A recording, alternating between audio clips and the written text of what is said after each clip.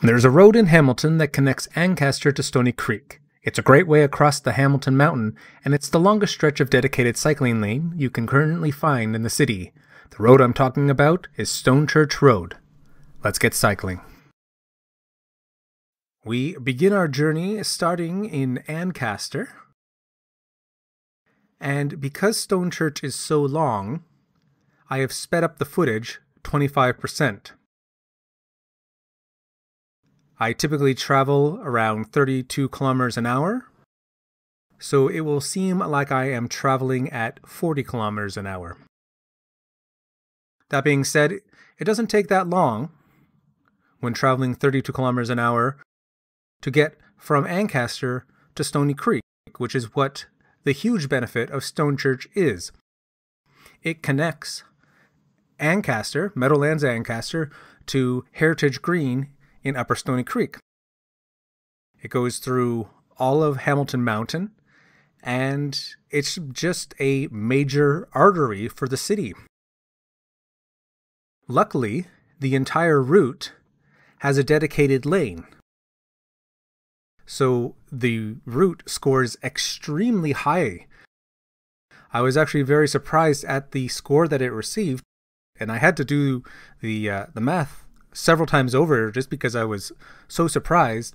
But it received a 95%, which is an A grade. And that's just with dedicated lanes, and it doesn't have any protected lanes. It could definitely benefit from a few protected lanes and sections. Ideally, the whole route would be nice as a protected lane, but key key areas might be good to have, you know, focus on first and make them a little bit safer. Anyway, we are entering into Hamilton uh, roughly about now. Uh, I believe we exit out of Ancaster around this moment. And this is a bit of an incline. It's not overly uh, bad. There is other sections that are slightly steeper. I think this is maybe a two degree incline. Uh, there is sections that uh, go up to three degrees of an incline. Up ahead, we have a traffic circle. It's the only traffic circle on this road. You'll see that the path actually brings you onto the sidewalk, but the transition isn't nice. You kind of have to do a little swerve. Uh, the other side has this path as well, except there is an opening where Omni Boulevard is. The transition back onto the road is decent on this side. It's just that other section, it could have been improved. Uh, one of the main reasons why Stone Church receives such a high grade is just because of all the neighborhoods that the road connects to and the limited number of streets that intersect with it. The more streets that intersect with it, it can lose points because that's more chances that a car could hit you from the side or like turn in front of you but it has it has enough. It definitely gets you to like all the upper Paradise, upper James, upper Wellington, Wentworth, so forth and so on. But there is some other streets that it connects to, and it can bring you into neighborhoods. It connects to 24 neighborhoods. Uh, either side of the road is a different neighborhood, uh, it is a dividing line between neighborhoods. And oh, before we continue on with the neighborhood, hidden car behind this van. Hope it wasn't backing out. That is one thing I don't like about this street. There's parking on on the boulevard section between the sidewalk and the road, and the cars just seem a little too close. Mm. Any one of these cars could back out. Um, I really hope that people that live here or visit these people do not just pull out blindly and hopefully they do it nice and slowly. I don't know if there is something we can do to fix that because we definitely like to keep the grass. The more grass we have, the better. I wouldn't want to turn that into paved parking uh, because then you would lose the grass. Uh, this is probably the only section where there isn't a dedicated lane here on Garth Street. But then on the other side of the road, it starts back up again. It's just on that west side of Garth Street that you kind of get a shared area. Doesn't really lose that many points, considering it is a 11.3 kilometers long and it's only a few dozen meters where um, where it's just a regular road. Doesn't lose a lot of points. But yeah, uh, 24 neighborhoods. Uh, it goes again from Ancaster all the way to Upper Stoney Creek. There's technically a 25th neighborhood, but there is no road connection to it. Uh, there's just a bit of the forest just before we get to Omni, all the way back at the beginning. There is a 25th neighborhood. Uh, I believe it's called Lampman. There's no connection to it, so I I can't rightfully give it that one extra point. But this is a very relaxing route. It took me 26 minutes to travel from end to end. And if you've ever had to ride the bus from Stoney Creek to Ancaster or Ancaster to Stoney Creek, it takes an hour at least. Uh, at least where I used to live, it would take an hour. I, I lived in Upper Stoney Creek. It had to zigzag all around Upper Stoney Creek, the uh, the Stone Church bus, and then it gets on the Stone Church, and then it stops at the mall, and then it continues on to Ancaster, and it would take an hour. So you can do this in 26 minutes on an e-bike. A little bit longer if you are just using your own pedaling power. I do myself enjoy my e-bike.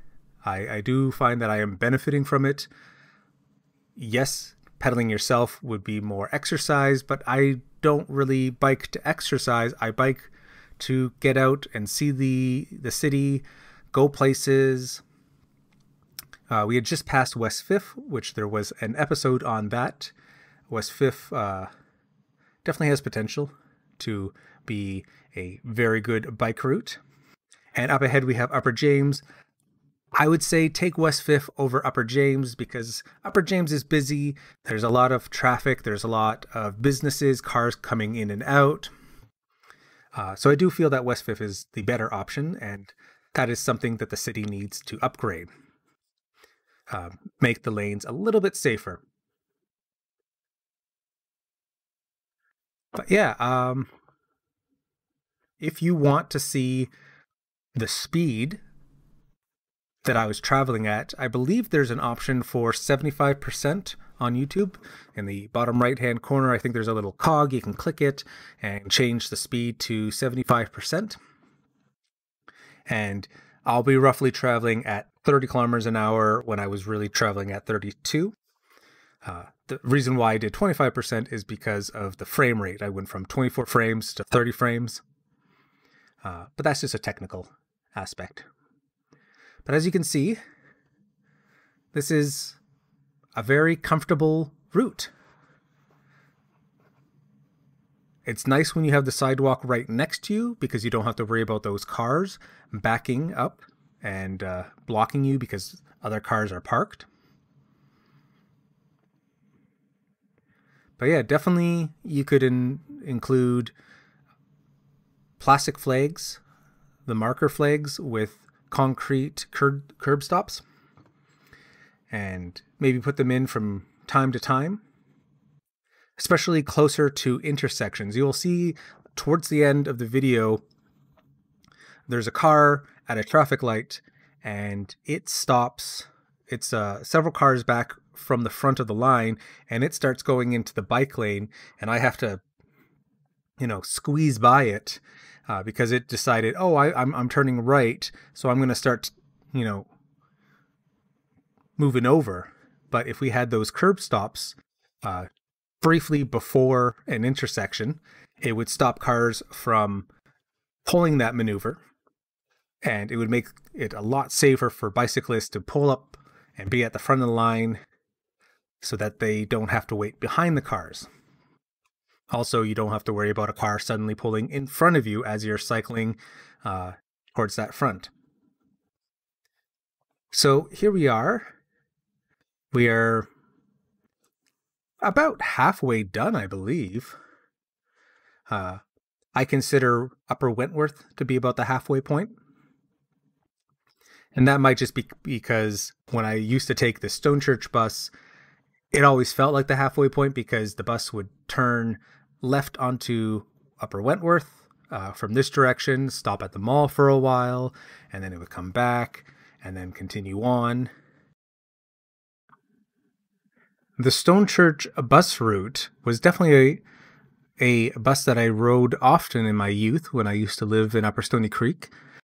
I based my jobs on that bus. I would say, oh, I can get to Limeridge Mall or I can get to Meadowlands on the bus. And I would choose jobs based on that. And it makes me really happy that this is now a decent bike route. And it's an important bike route because it connects so many neighborhoods. Whenever there is a major road that connects as many neighborhoods as this does, it's important. And we need to have safe cycling routes for people to get to where they need to go. So that is why this bike route scores so highly.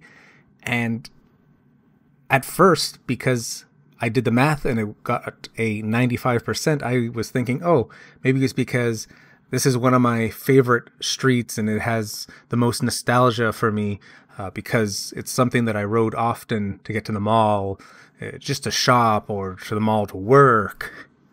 But uh, no, it's it's the neighborhoods. I think when urban planners are planning out where to put the next bike route, they need to look at, you know, is this a a road that connects a lot of neighborhoods?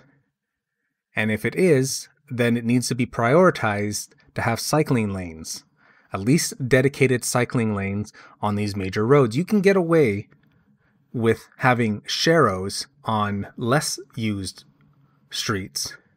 But on something like this, you need the dedicated lanes and preferably have sections of protected lanes. Other things to take into consideration is the space between the sidewalk and the road, if there's enough space for cars to feel like they can comfortably park there, people need to realize people will park there.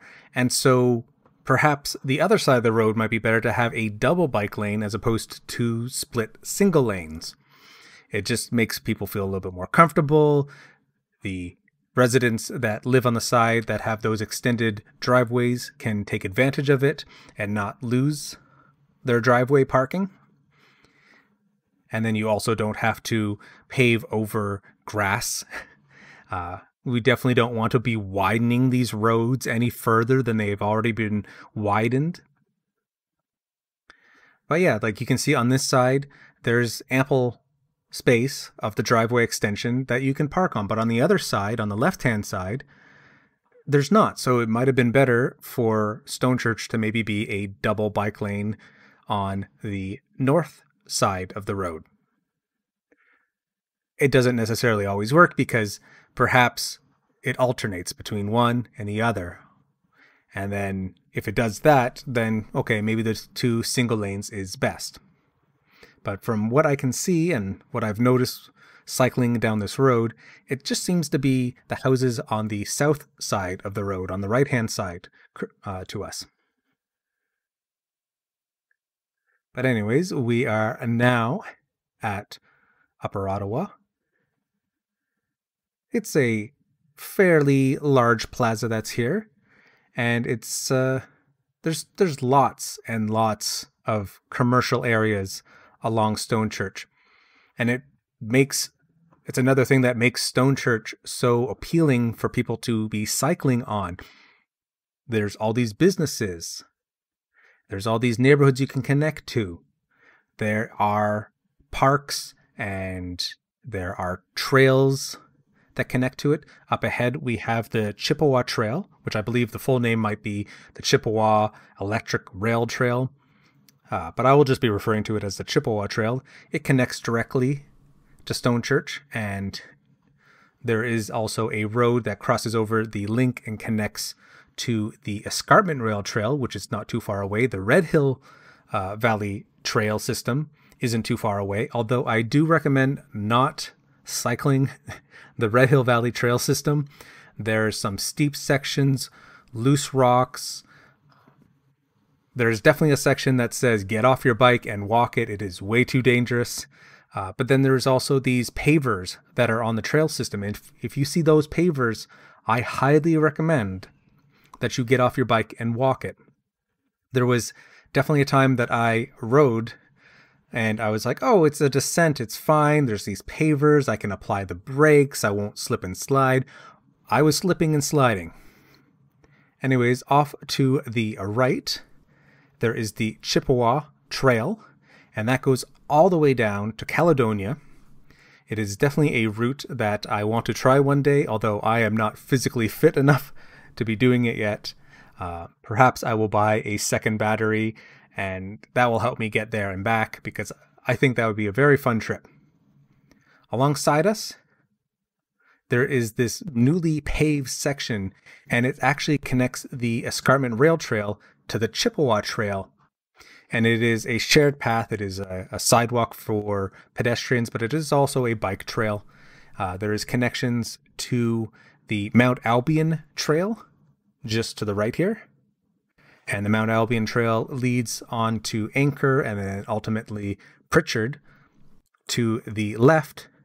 If you turn left on to Arbour, that brings you to the Escarpment Rail Trail, just right there. It brings you over this bridge, connects you right to the Escarpment Rail Trail, and then also to the Red Hill Valley Trail System. Again, I highly recommend leaving that to pedestrians.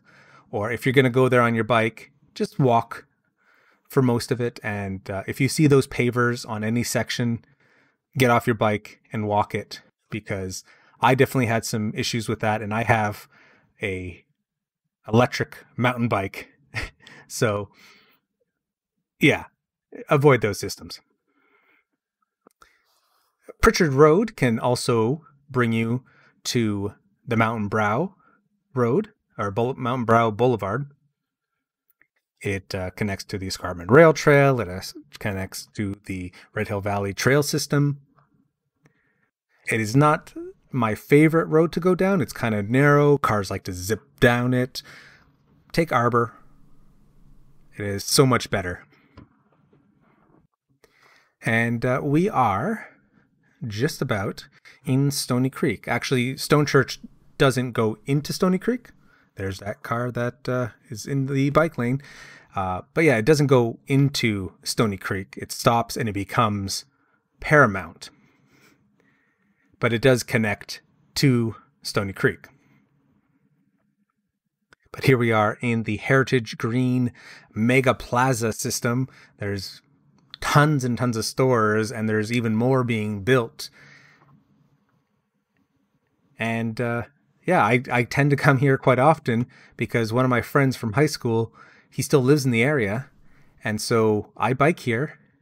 And so this is a road that I still use quite often.